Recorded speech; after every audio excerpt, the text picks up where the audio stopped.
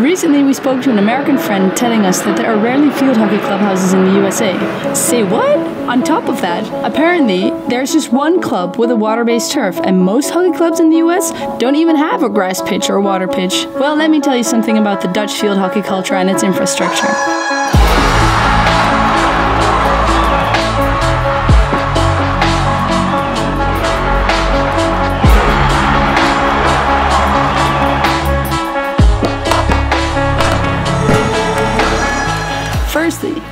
Think there's not one club in the Netherlands without a clubhouse. Secondly, we have field hockey stadiums here and weekly tournaments during the summer. What we've heard from our American friend is that boys don't play. Whoa, how can that even be fun? This video will describe the unique Dutch hockey culture and explain why we're the best in the world. The Netherlands has 255,000 field hockey players spread over 309 hockey clubs in 12 different provinces. All those provinces are reachable by car within a two and a half hour ride. You can become a member of the Dutch Hockey Association by joining a club as of the age of six.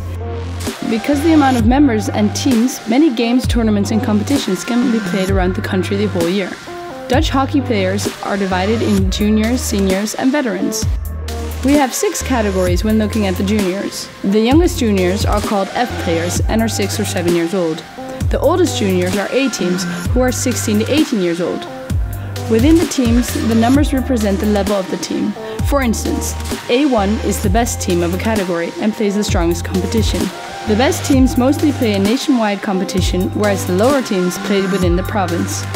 We heard that in the States, when you graduate from high school, you may not even have a team in college. And when you graduate from college, you're basically forced to retire because there are essentially no opportunities to play other than a really casual league that have zero practices.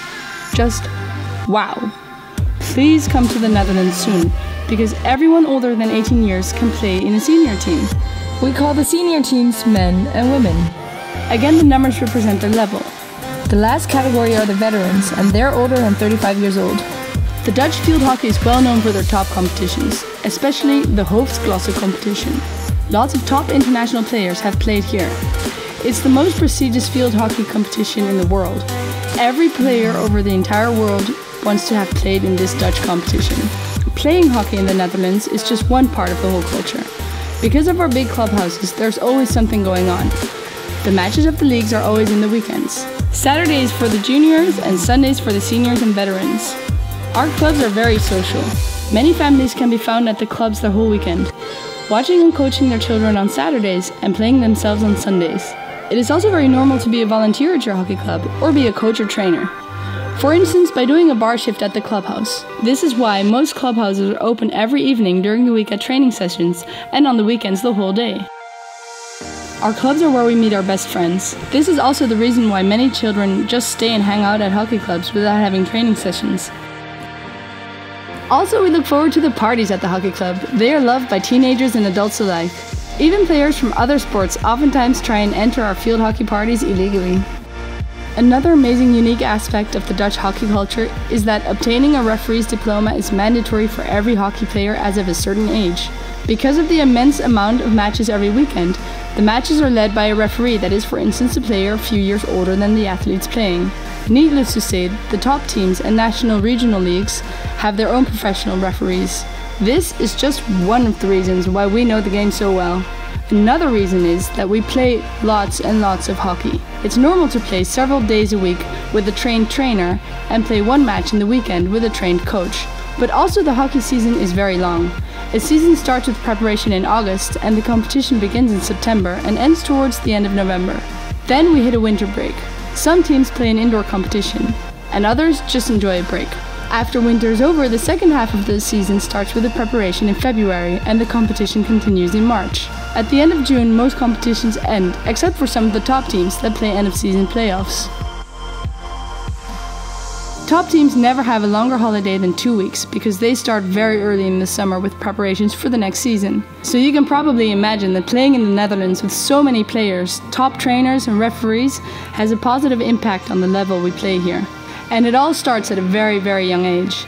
All these things probably explain why the Netherlands has become so well known in their field hockey quality and have been on the top of the world field hockey ranking list for such a long time. We also have very well known high level international summer camps, for instance in Amsterdam. Imagine 100 young international hockey players, boys and girls combined, playing hockey together over seven days and nights. The social life and experience at these camps can be just as important as the hockey. The camp staff are awesome hockey players from around the world, including Dutch international players who give you personal feedback during two or three training sessions a day, plus games, party, and fun all week long. Interested in going to such an amazing hockey experience in the Netherlands? Check out www.sporteurotour.com. To conclude with a funny fun fact, a recent Dutch article condemned the massive use of water based turfs because of the immense amount of often drink water used to humidify the turfs. In the Netherlands, 1.8 billion liters of water per year is used to play hockey. But hey, maybe that's what makes us the best in the world. This was our video about the Dutch field hockey culture. I hope you enjoyed it. If you wish to see more videos like this, let us know in the comments below. Please subscribe to our channel, like this video and follow us on Instagram and Facebook. Thank you for watching.